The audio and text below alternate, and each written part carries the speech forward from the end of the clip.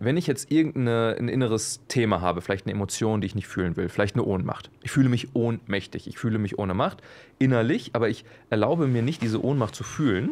Was mache ich dann? Es gibt zwei Möglichkeiten. Entweder erlaube ich mir diese Ohnmacht zu fühlen und bejahe sie, oder ich muss sie selber verneinen und vermeiden.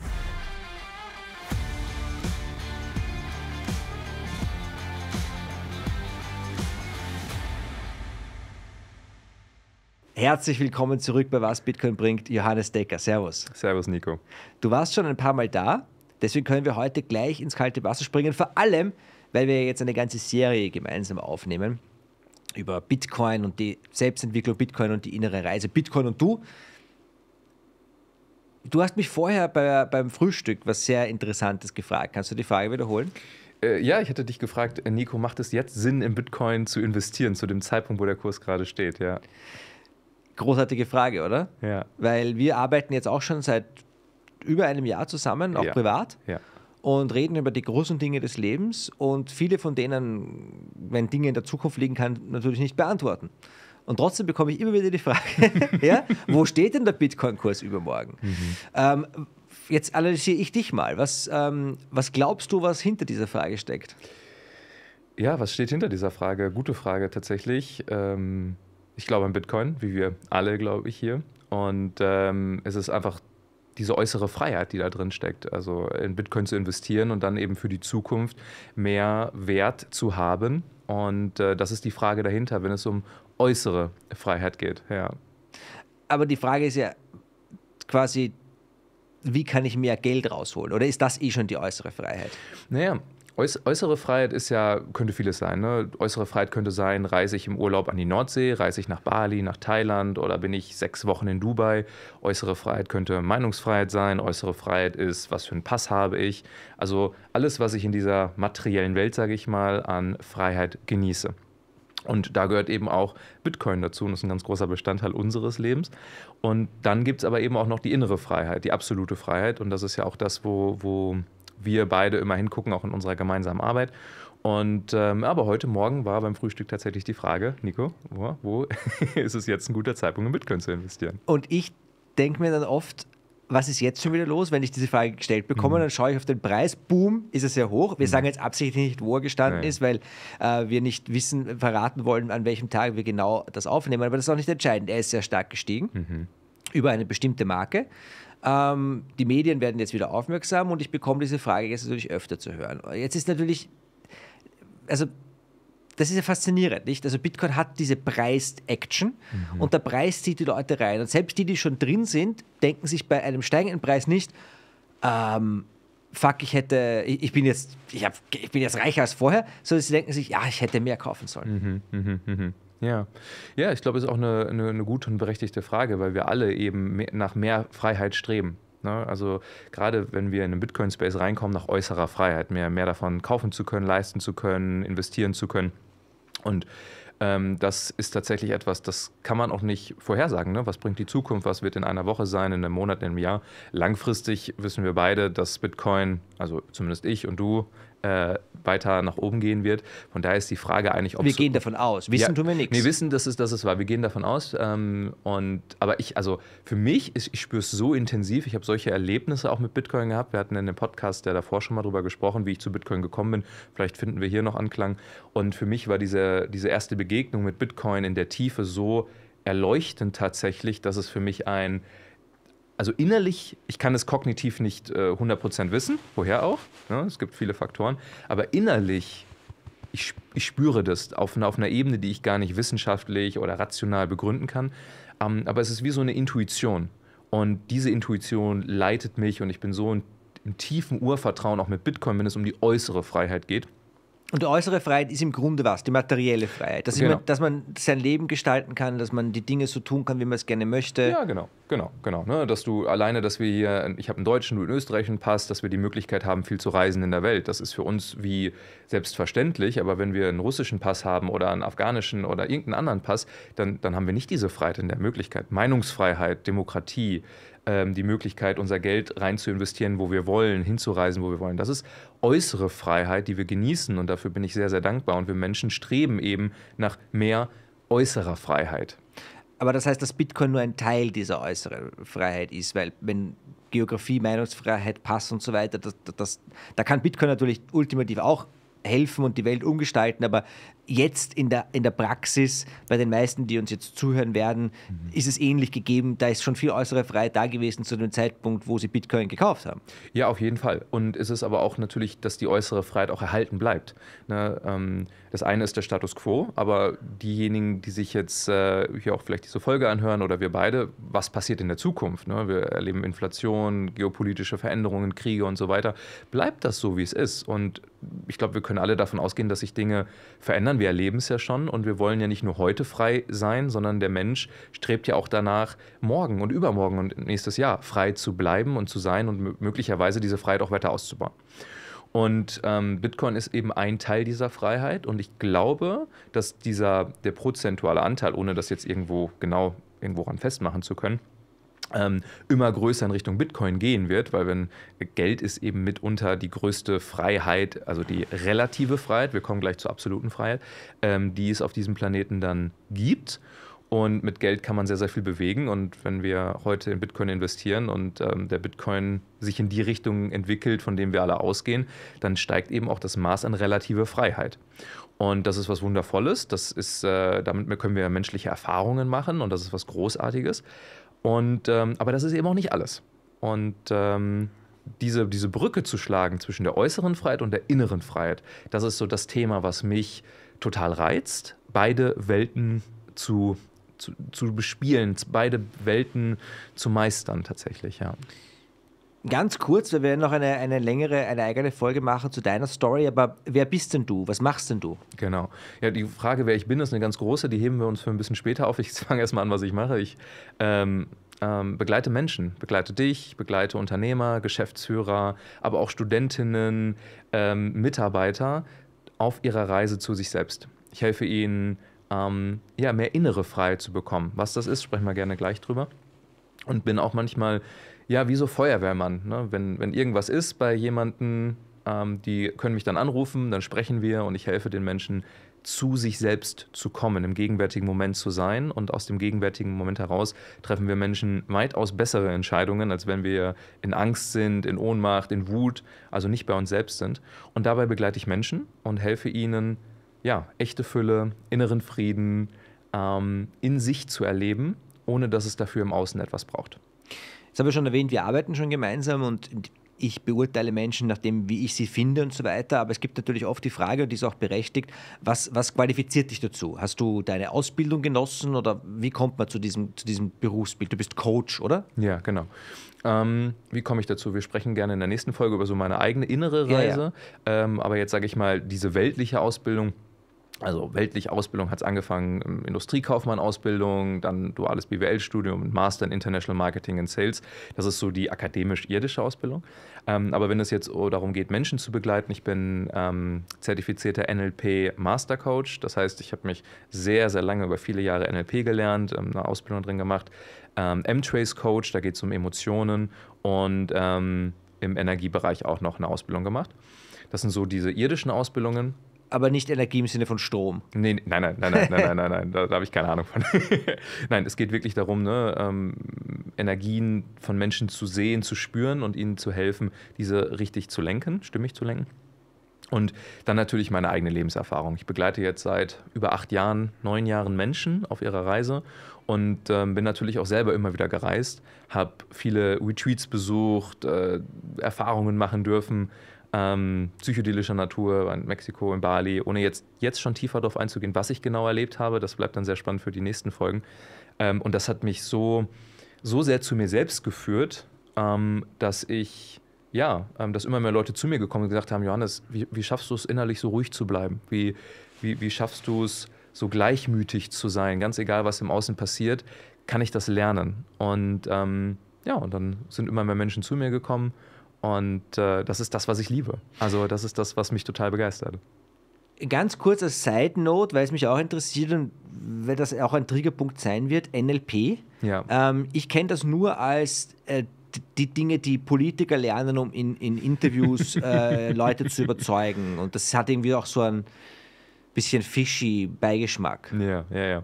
Äh, NLP, neurolinguistisches Programmieren. Ähm, ich bringe mal die Metapher, wenn du dir einen großen Schraubenschlüssel vorstellst. Damit kannst du eine Maschine reparieren, damit kannst du äh, gute Dinge bauen, was erschaffen, reparieren etc. Oder du kannst mit einem Schraubenschlüssel jemanden den Kopf einschlagen. Das heißt, es hat nichts mit dem Tool an sich zu tun, sondern es ist immer derjenige, der es benutzt und zu welche Zwecke. Ähm, und ähm, das gleiche ist mit Geld. Geld an sich ist erstmal neutral und will ich mit dem Geld etwas Positives machen oder will ich mit dem Geld Kriege finanzieren, Terrorismus und so weiter. Das heißt, es ist nie das Geld oder das Tool, sondern immer die Frage, wer nutzt dieses Tool und aus welcher inneren Haltung heraus. Und deswegen ist NLP wundervoll, weil es uns eben auch hilft. Aber was ist es? Ähm, NLP? Ja. NLP ist ähm, also neurolinguistisches Programmieren, es geht viel um Sprache und mhm. wie wir uns durch Sprache, wie die Computersprache, wenn ich jetzt für diejenigen, die jetzt im Informatikbereich sind, damit codest du ja etwas und erstellst eine Website und so weiter. Und Sprache programmiert uns aber auch selbst als Mensch, also unsere eigene, wenn du so willst, innere Software.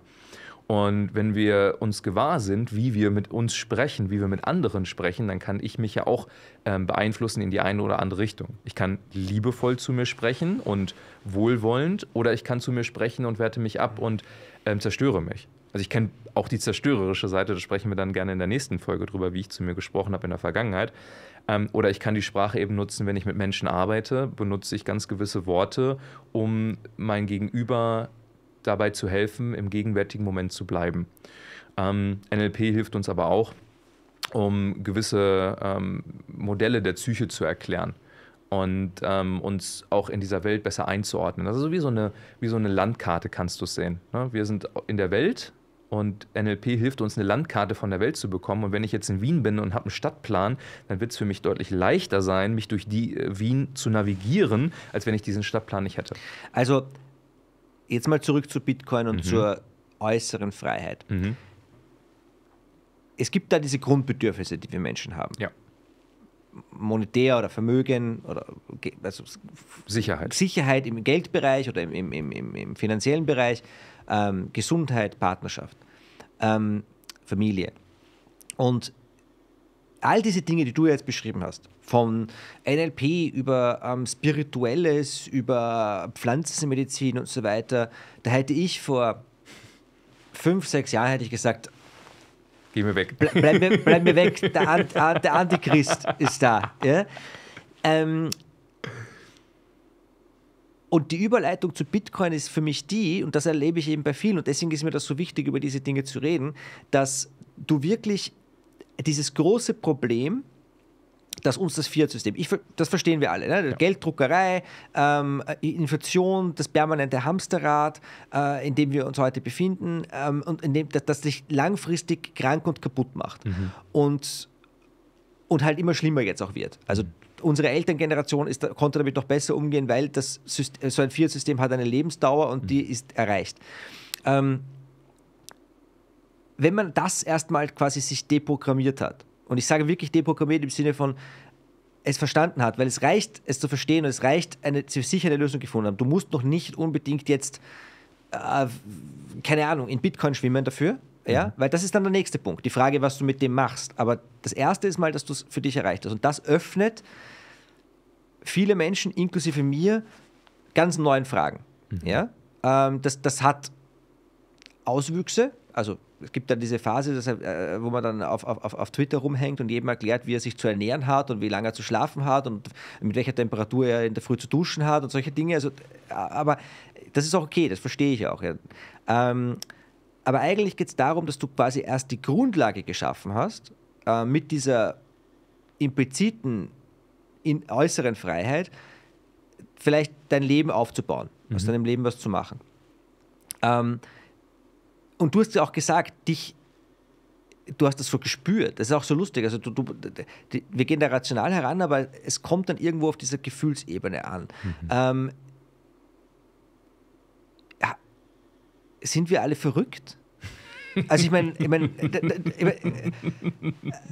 das klingt irre. Das, mhm. das muss dir schon klar sein. Mhm. Ja. Ähm, es gibt die relative Freiheit, da hatten wir eben schon mal drüber gesprochen. Bitcoin, Geld, Möglichkeiten zu reisen und die absolute Freiheit, die innere Freiheit.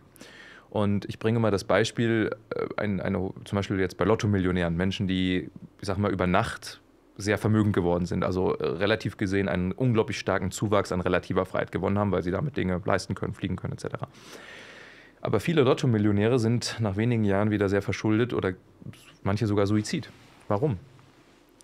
Liegt nicht an dem Geld oder an der Freiheit, die sie da bekommen haben, sondern weil sie durch diese äußere Freiheit ähm, die innere Freiheit ist halt nicht nachgezogen. Also die absolute Freiheit. Mhm. Denn wenn wir zwar äußerlich frei sind und wir haben, sagen wir mal, 100 Bitcoin oder ganz, ist ja egal, ganz viel Vermögen haben, aber innerlich nicht frei sind. Innerlich nicht frei sein bedeutet, dass etwas passiert im Außen und ich nehme das wahr und ich mache mir Gedanken und dann kommt eine Emotion hoch und auf die Emotion reagiere ich sofort. Also ne, ich nehme einen Reiz wahr, Gefühl kommt hoch, Reizreaktion und so weiter.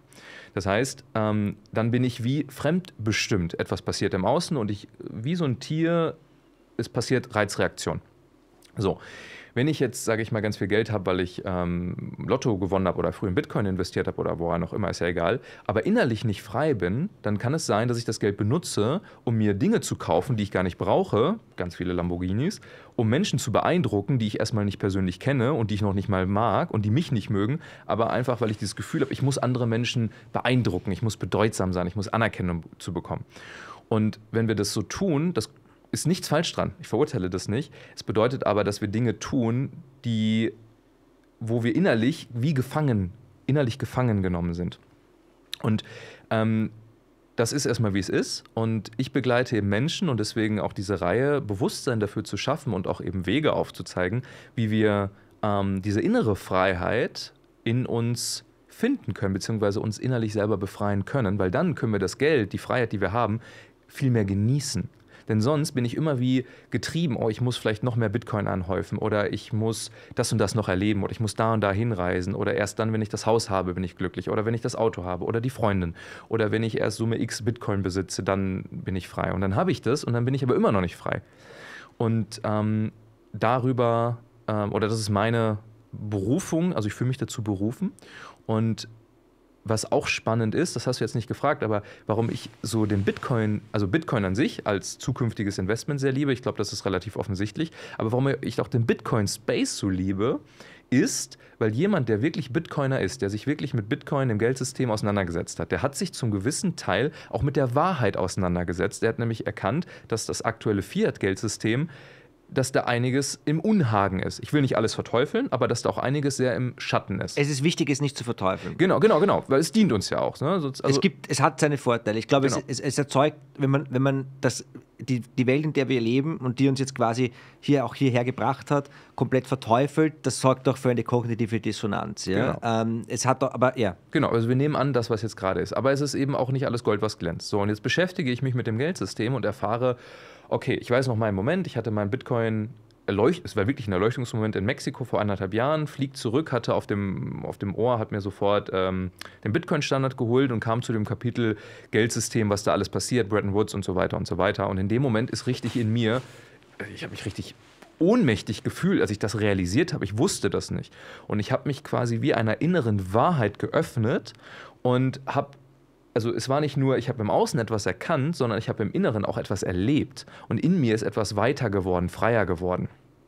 Und was, warum erzähle ich das? Wenn wir uns wirklich intensiv mit Bitcoin beschäftigt haben, und das wird vielleicht jeder kennen, der sich intensiver damit beschäftigt hat, dass das nicht nur im Außen was gemacht hat, wo investiere ich jetzt rein, sondern auch mit uns als Mensch.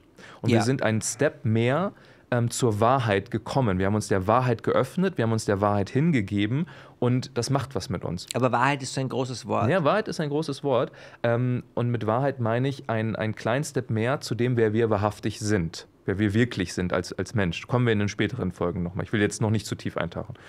Und das bedeutet, dass Bitcoiner oder in dem Space sich mindestens einmal mit sich und der Wahrheit, in welcher Tiefe auch immer, beschäftigt haben, bewusst beschäftigt haben. Und alles, was wir einmal getan haben, ist die Wahrscheinlichkeit hoch, dass wir es auch ein zweites Mal tun.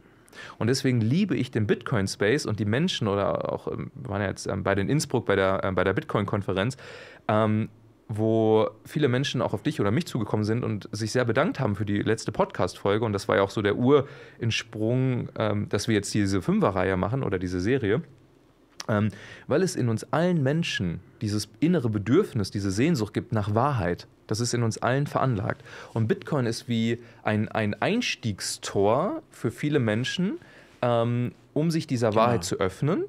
Und das heißt, jeder, der sich mit Bitcoin tief beschäftigt hat, ist offen für die Wahrheit. Wie weit er oder sie geht, das sei dahingestellt, aber alleine ein Step schon gegangen zu sein, ist die Wahrscheinlichkeit hoch, dass auch ein zweiter Step und ein dritter und vierter Step folgt. Moment, Moment, aber die Wahrheit, ist jetzt, die Wahrheit, von der du jetzt redest, ist nicht, äh, das Fiat-System ist schlecht und die Illuminati kontrollieren nein, die nein, Welt. Nein, das Klammer auf, das war jetzt ein Witz, Klammer zu. Ja, ja, ja, ja, Sondern die Wahrheit ist das, was du in dir selbst findest. Ja, wer du wahrhaftig bist. Na, wer wir wahrhaftig sind, ähm, wer wir wahrhaftig sind, wer wir noch wir schon immer gewesen sind und wir aber im Laufe der Zeit, je nachdem, das erkläre ich jetzt kurz, aber lass uns in den anderen Folgen da tiefer drauf einsteigen, ähm, dass wir, wer, wer, wir wirklich sind und ähm, wer wir auch nicht sind.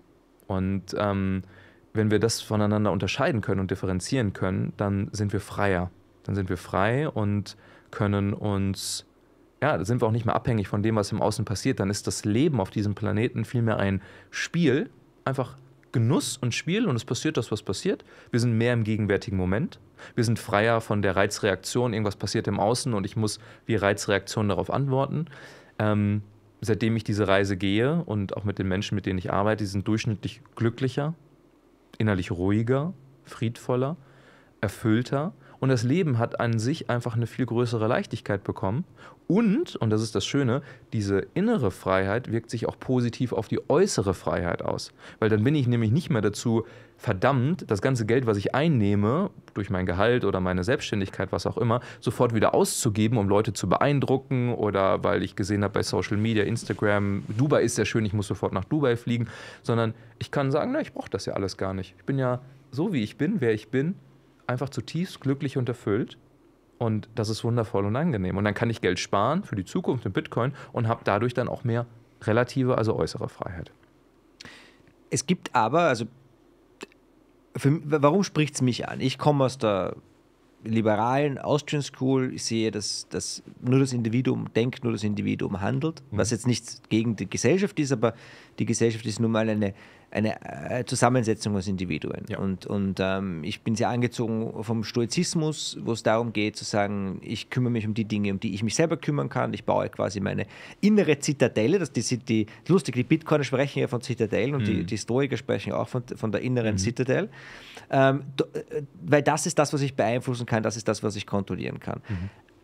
Und Bitcoin ist eben der genaue Gegenentwurf von von dem auf einer Geldebene, was wir sonst sehen. Also mhm.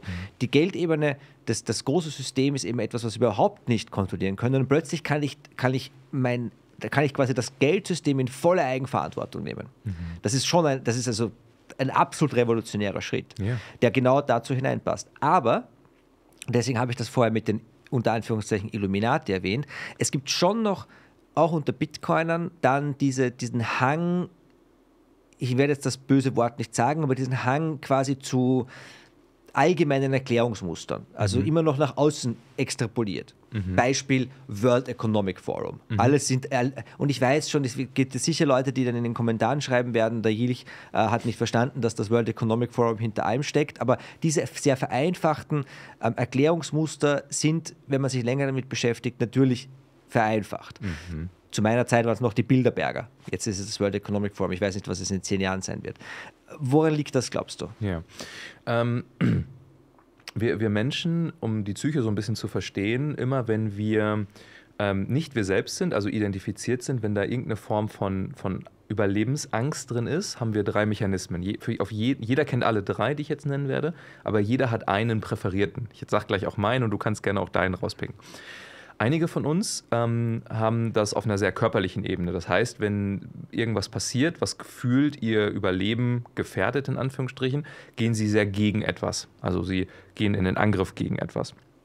Andere von uns, ähm, wenn sie merken, ah, okay, ich bin unsicher, ich, ich, ich weiß nicht wo lang, dann neigen sie dazu, sich aus Angst heraus motiviert wegzubewegen, also zu fliehen, machen sich viele Gedanken, zweifeln vielleicht auch, ähm, und das ist das, der Bezug, okay, ich gehe weg von etwas. Und die dritte Gruppe, eher emotional gesteuert, da zähle ich mich zu. Ich bin dann jemand, wenn ich unsicher bin, nicht ich selbst, dann gehe ich auf andere zu und ähm, bin so ein bisschen, oder jetzt deutlich weniger, aber früher sehr hysterisch.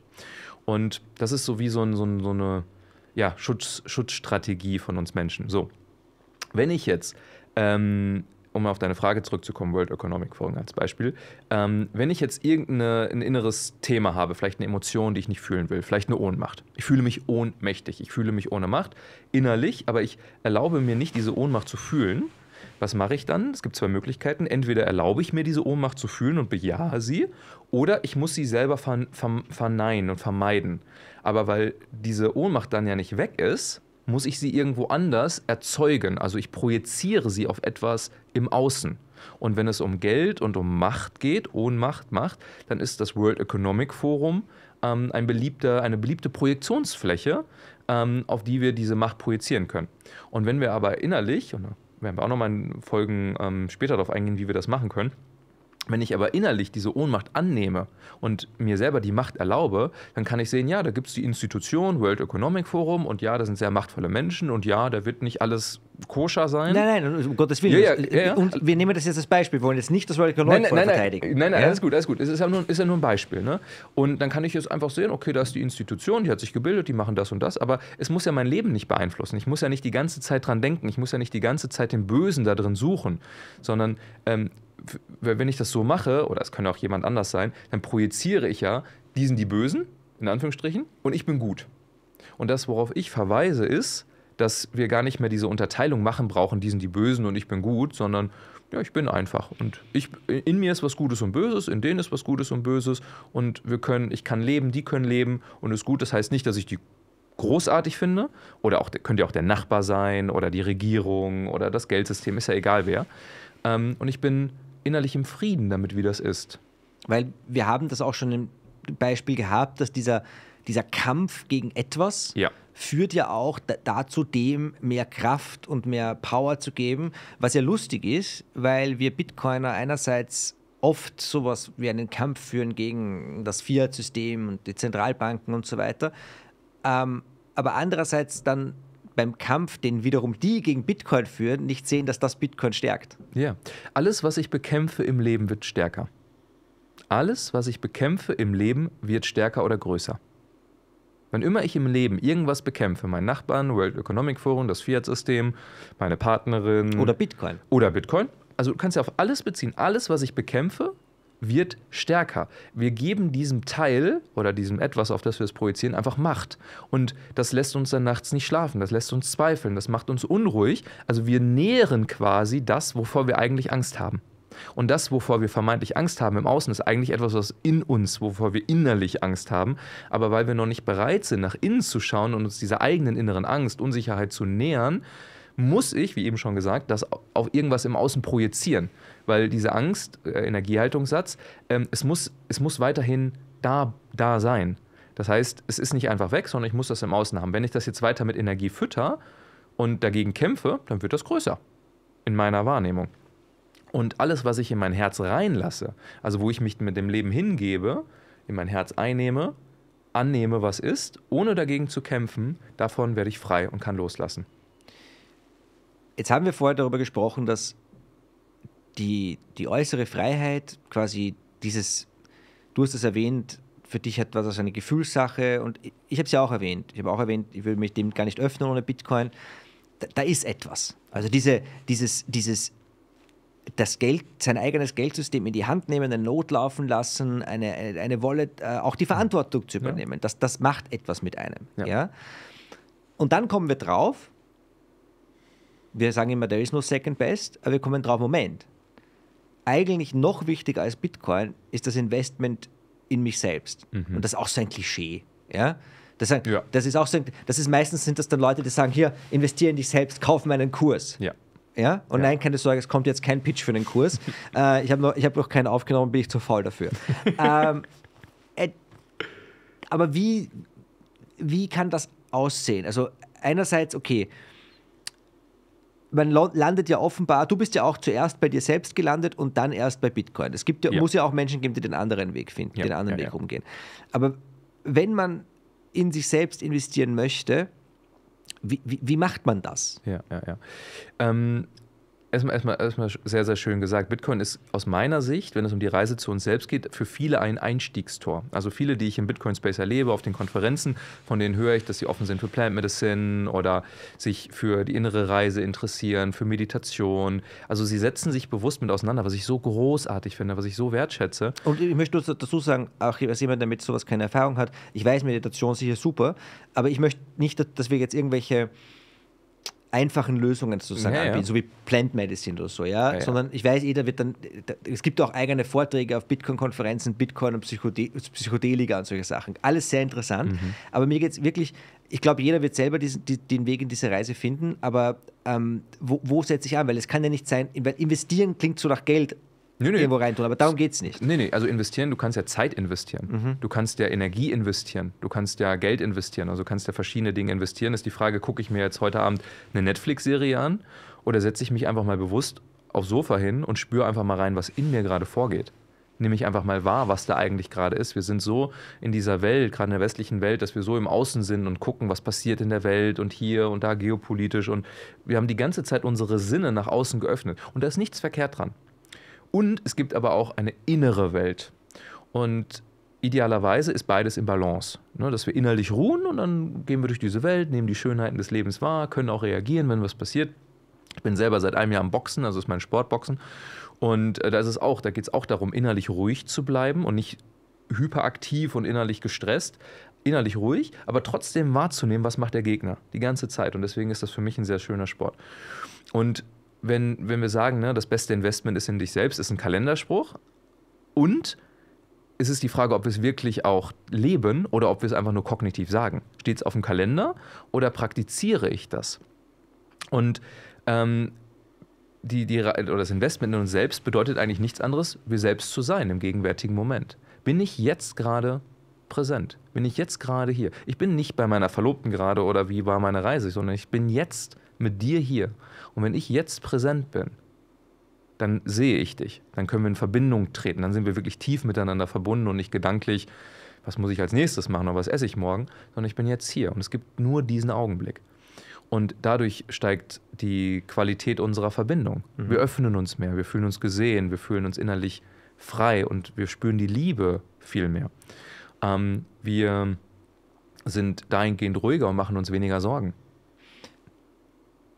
ich glaube sogar, dass das einer der Gründe ist, warum zum Beispiel solche Dinge wie Longform-Podcasts so gut funktionieren. Ja. Nicht nur, dass wir zwei jetzt hier sitzen können, und uns aufeinander konzentrieren können und die Handys weit weg sind und wir, man kann wieder ein Gespräch führen, mhm, mhm. sondern dass es auch für Leute, die jetzt zusehen oder zuhören, ähm, oft gegeben. Und das freut mich sehr. Ja. ja. Weil wir reden immer davon, dass die, die, die moderne Generation TikTok hier und kurze Aufmerksamkeitsspanne und so weiter, aber dann ziehen sie sich irgendwie drei Stunden Podcast rein. Also äh, äh, gibt es ja was. Ja, genau. Und das ist ja spannend. Das können wir ja ähm, in dieser Folge erleben und auch vor allem in den nächsten Folgen, wenn wir noch tiefer eintauchen, dass wir begegnen uns und ich bin Bewusstsein, du bist Bewusstsein und wir erschaffen gemeinsam ein Bewusstseinsfeld, einen Bewusstseinsraum.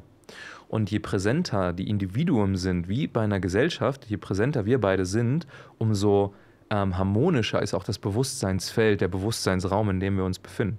Und wir Menschen lieben Harmonie und innere Ruhe, weil das uns entspannen lässt. Wir können uns dem hingeben und es, es fühlt sich wie Erholung an. Manche Menschen gehen in die Sauna und in die Therme, sind innerlich aber so gestresst, weil sie gar nicht innerlich zur Ruhe kommen und andere Menschen sind äh, in der Wiener Innenstadt, wo ganz viel los ist, aber innerlich so in sich geruht und können das Ganze, das Leben viel mehr im gegenwärtigen Moment genießen. Und wenn wir beide jetzt miteinander sprechen und jemand hört jetzt hört oder sieht jetzt unsere Folge, dann taucht er oder sie, oder überall ist es so, aber ich bringe jetzt unser Beispiel, in wie so ein Bewusstseinsraum rein, in so ein Bewusstseinsfeld. Und in diesem Feld kann ich mich entweder hingeben, mich öffnen, oder ich kann auch weiterhin dagegen kämpfen und sagen so, nein, das will ich nicht und ich möchte mich dem nicht öffnen, was auch fein ist. Und in diesem Feld komme ich zur Ruhe und kann wahrnehmen, was ist denn eigentlich gerade in mir? Spüre ich gerade vielleicht meinen Körper? Nehme ich vielleicht eine Emotion wahr, die ich lange nicht wahrgenommen habe oder ein Körperempfinden? Und wenn ich dem dann tiefer nachgehe, wie so eine Zwiebelschicht, ah, da ist was, kommen in der nächsten Folge den genauen Prozess, aber einfach nur kurz, ähm, um das zu erläutern, dann nehme ich wahr, ah, da ist interessant, da, da ist irgendwas. Und dann gucke ich tiefer und was ist da drunter und darunter. Und wir kommen immer mehr zum Kern. Aber wenn wir die ganze Zeit mit TikTok, was du gesagt hast, oder Instagram, diese kurzen Reels, abgelenkt sind, und es ist nichts falsch dran, ähm, aber abgelenkt sind, dann verlieren wir die Wahrnehmung, das Gewahrsein für dem, was in uns in diesem Moment ist. Und wir sind gestresst, wir sind unruhig, wir sind, ähm, ja, wir können, der Tag geht vorbei, was habe ich gemacht? Unsere Beziehungen sind sehr oberflächlich, äh, unsere Arbeit vielleicht halbherzig, wir sind unzufrieden, voller Angst oder Scham oder Wut, je nachdem.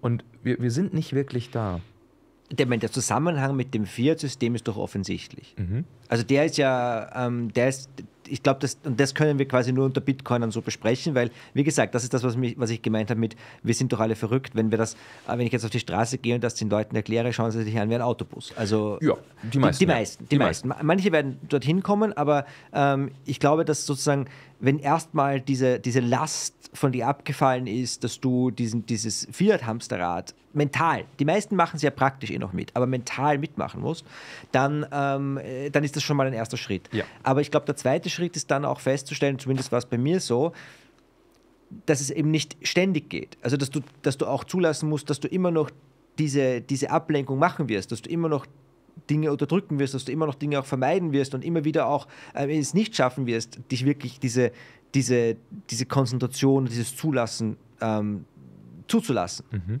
Mhm. Das, das ist auch okay. Also es geht ja nicht darum, dass wir die ganze Zeit im tiefsten Zen sind und alles bejahen, was ist, Beispiel, ich bin, also bin ich jetzt nicht, aber ich nehme jetzt mal einen Chirurg im Krankenhaus und der hat einen Stress mit seinem Sohn und ist wütend oder irgendwas. Und jetzt ist er aber in einer vierstündigen Herztransplantation. Da wäre es nicht so cool, wenn auf einmal seine Emotionen hochkommen aus dem Konflikt mit seinem Sohn. Mhm. Also es ist schon von, von dem Menschsein auch sinn und dienlich, dass wir Emotionen oder innere Körperempfindungen auch eine Zeit lang runterdrücken. Das ist wie die Gazelle läuft vom Löwen weg. Die ist dann voller Adrenalin und Stresshormone und, und, und, ne? und dann, dann kommt sie dem Löwen. Was macht sie? Sie schüttelt sich. Sie schüttelt den ganzen Stress raus.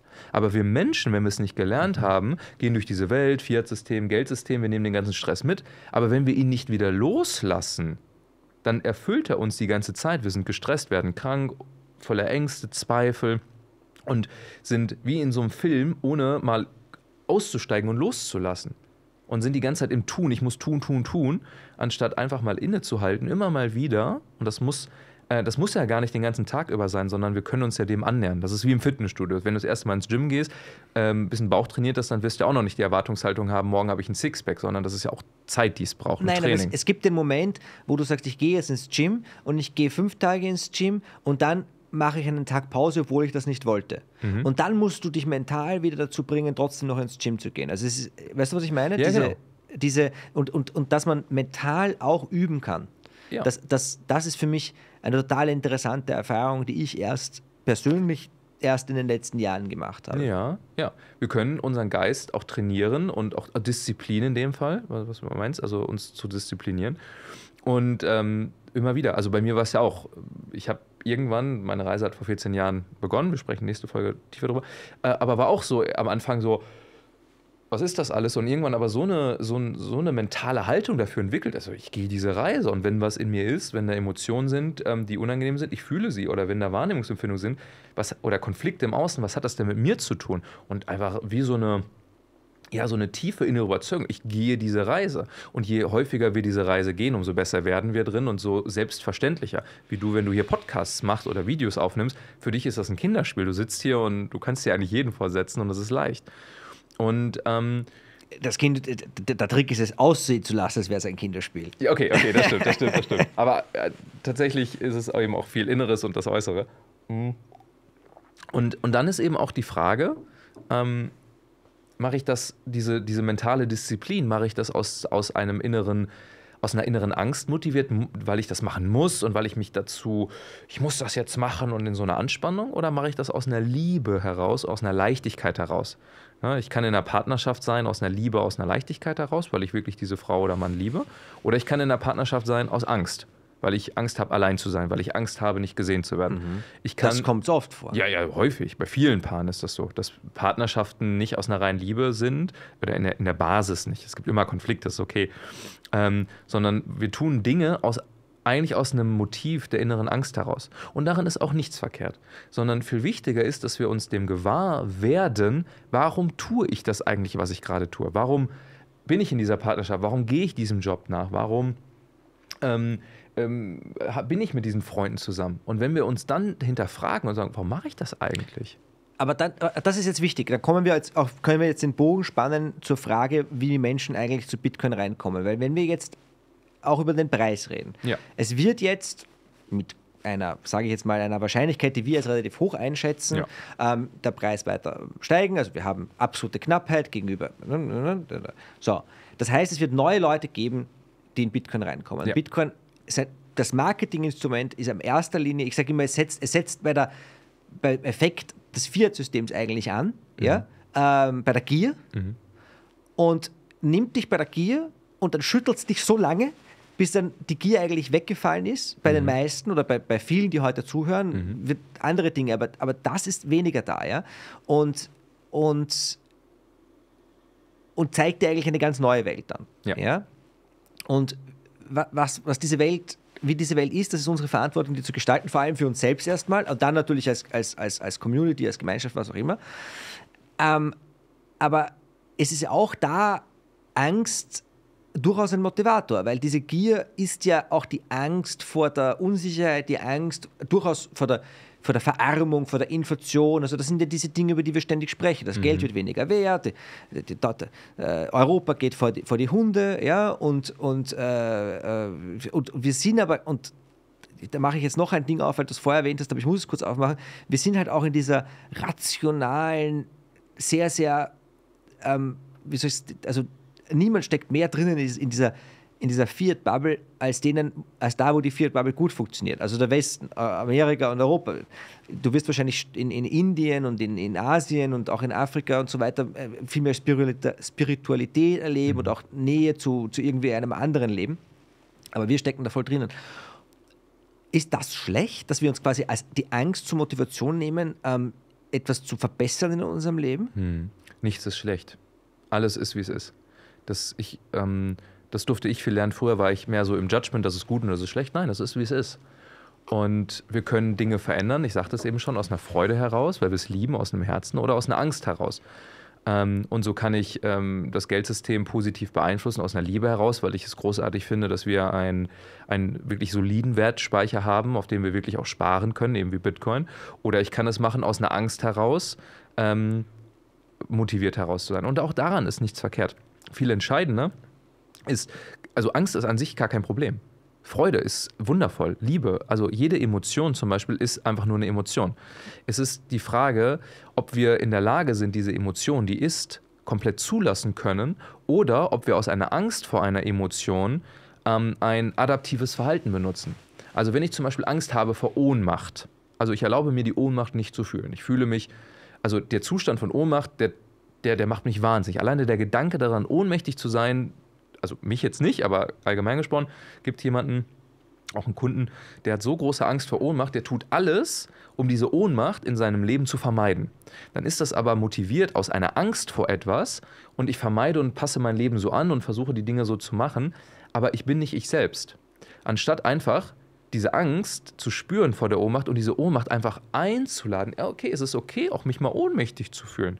Und dann gehe ich an 90 Prozent der Dinge viel entspannter ran ich muss da nicht alles kontrollieren. Ich muss nicht alles ähm, für die Zukunft jetzt schon heute wissen, sondern ich kann gewisse Dinge regeln. Im Finanzbereich wäre es für mich jetzt Bitcoin. Ich investiere immer wieder rein. Ähm, und kann aber 90 Prozent der Gedanken, vielleicht sogar 95 Prozent, muss ich gar nicht mehr denken, weil ich bin ja gar nicht mehr dazu geforst, aus einer Angst vor etwas, was die Ohnmacht in dem Fall wäre, ähm, alles kontrollieren zu müssen, sondern ich lasse heute die Ohnmacht zu und es ist okay, ohnmächtig zu sein und kann dann viel entspannter leben und kümmere mich nur noch um die wirklich wichtigen und relevanten Dinge in meinem Leben und lebe so viel leichter. Und so ist es mit allen inneren Themen, mit allen Emotionen.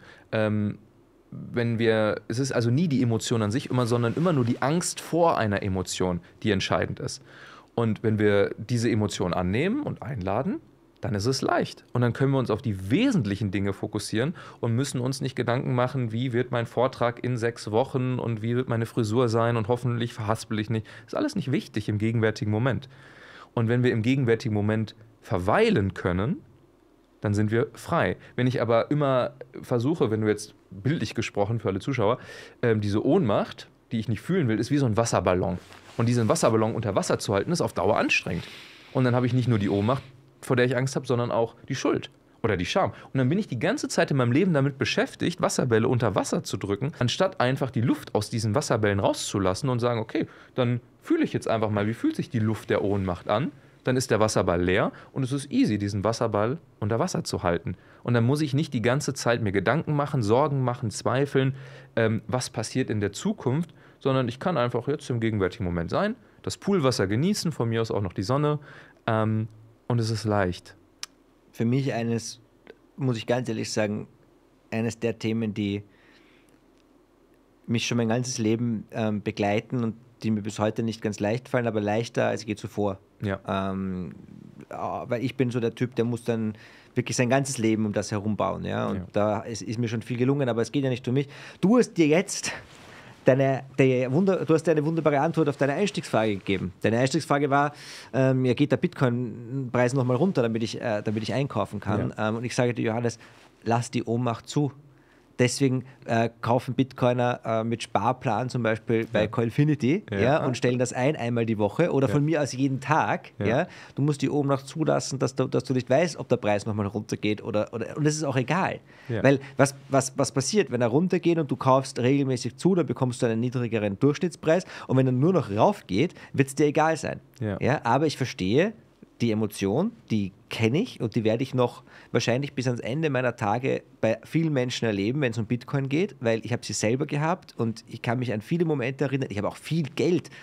Äh, das Problem ist, wenn du die Emotion nicht los wirst, dann wirst du, der Markt rüttelt dich brutal durch und du wirst einen Grund finden, am absoluten Tiefpunkt zu verkaufen, nicht zu kaufen. Ja, ja. Nicht zu kaufen. Du verkaufst alles, weil du Angst hast vor dem Verlust des, Rest, des restlichen Geldes, weil natürlich, und das ist vielleicht ein, ein, ein, ein guter Ende auch für diese Episode, wir dürfen nicht vergessen, dass Menschen, die Bitcoin investieren und Bitcoin äh, kaufen, da steckt wahnsinnig viel Selbstverantwortung mhm. und Selbstbewusstsein auch dahinter, sich wirklich gegen die gesamte Welt zu stellen, quasi, die dir alle erklären, naja, du musst also hier den ETF kaufen oder Gold kaufen oder äh, eine Immobilie kaufen und dann musst du dich erstmal hinschauen und sagen, nein, nein, ich kaufe jetzt Magic Internet Money. Mhm. Da, ich meine, das ist das, was ich gemeint habe mit verrückt sein. Also du musst schon, äh, du musst schon sehr viel Selbstsicherheit besitzen mhm. oder du rutscht rein indem du einfach sagst, es gibt halt Leute, die haben bei 100 Euro Bitcoin gekauft, weil sie es lustig fanden oder dafür Drogen gekauft haben äh, und dann liegt es noch irgendwo rum und jetzt haben sie halt viel davon. Mhm, das sind die zwei mhm. Möglichkeiten. Und, um das ganz kurz noch zu ergänzen, ähm, ne, ich hatte heute Morgen die Frage gestellt und es ist nichts verkehrt daran, die relative Freiheit ähm, ja, sich ähm, zu erweitern. Also wenn ich die Wahl habe zwischen ähm, jetziger Preis oder halber Bitcoin-Preis, dann nehme ich natürlich den halben Bitcoin-Preis, um meine relative Freiheit zu erhöhen. Es ist immer nur die Frage, bin ich, kann ich es loslassen? Kann ich jetzt diese Aufnahme machen oder heute nach Hause gehen und ohne, dass ich damit irgendwie involviert bin? Ähm, oder hängt es mir den ganzen Tag noch nach? Diese ganze, was du eben auch sagtest, ne, bin ich die ganze Zeit emotional noch involviert? Habe ich das jetzt richtig gemacht? Oh, jetzt doch nicht. Dann bin ich nicht frei.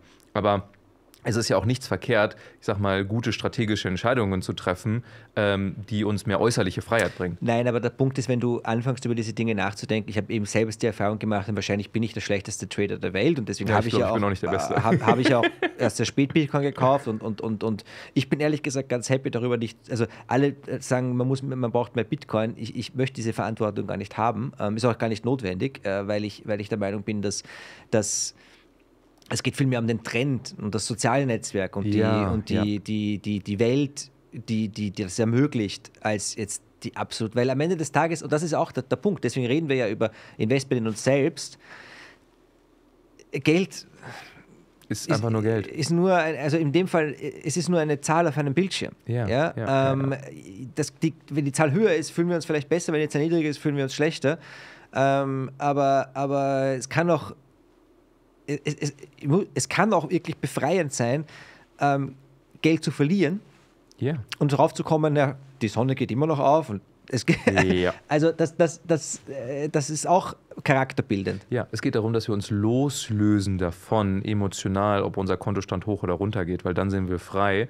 Das heißt nicht, dass es nicht schön ist, viel Geld zu verdienen oder Geld zu haben, weil wir dadurch Reisen machen können, Erfahrungen machen können. Das will ich, das das ist diese Kunst zwischen innerer Freiheit und trotzdem Genuss in diesem materiellen Leben. Mhm. Und diese Balance hinzubekommen. Weder das eine zu stark zu priorisieren, noch das andere, ich bin jetzt Asket in Indien, habe nur noch, weiß ich nicht, ein Leintuch an und nichts zu essen und lebe von Hand im Mund und bin von mir aus erleuchtet. Darum geht es für mich zumindest auch nicht, sondern innerlich frei zu sein, das Paradies auf Erden zu erleben und die die äußeren Umstände dieses wundervollen Lebens, der Möglichkeiten in dem Zeitalter, wo wir leben, zu genießen und da eine schöne Balance hinzubekommen. Und so sehe ich auch meine, meine Aufgabe oder Lebensaufgabe, so eine Brücke zu schlagen zwischen der geistigen, spirituellen Welt, nennen wir es jetzt mal so, energetischen Welt und der materiellen Welt.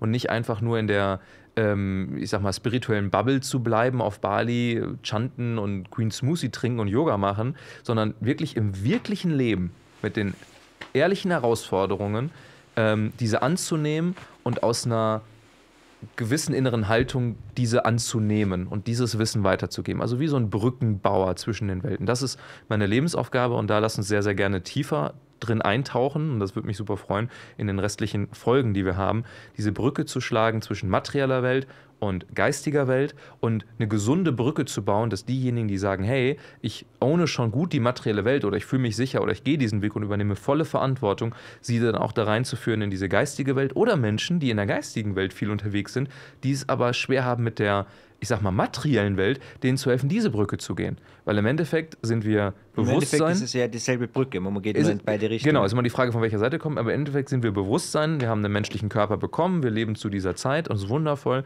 Und wenn wir beide Bereiche für uns ownen und ich sag mal, einen guten Zugang zu haben, ja, dann ist Leben einfach geil ein Spiel, Genuss und dann können wir surfen und dann sind wir Liebe. Und alle Menschen, und das ist vielleicht ein schönes Abschlussstatement, wir sind alle Liebe und wir lieben es, unsere Liebe einfach zu verschenken. Wie ein Apfelbaum, der wächst und der verschenkt einfach seine Äpfel, ohne dass er dafür was haben will. Und das ist so auch die Intention für die restlichen Folgen. Ähm, die Liebe, die in uns allen ist, in dir ist, in mir ist, in jedem von uns, einfach zu verschenken und zu serven und zu dienen. Und dann, ja. Machen wir. Johannes, danke für Nummer eins und wir sehen uns bei der nächsten, bei der nächsten Folge. Wir sehen uns, wir sehen uns in weit wir sehen uns gleich wieder. Ja, ja. aber das wissen die Zuschauer. Aber, aber, aber zwischen, zwischen der Ausstrahlung der Folgen ist ein bisschen Zeit. Bis zum nächsten Mal. Danke dir, Nico.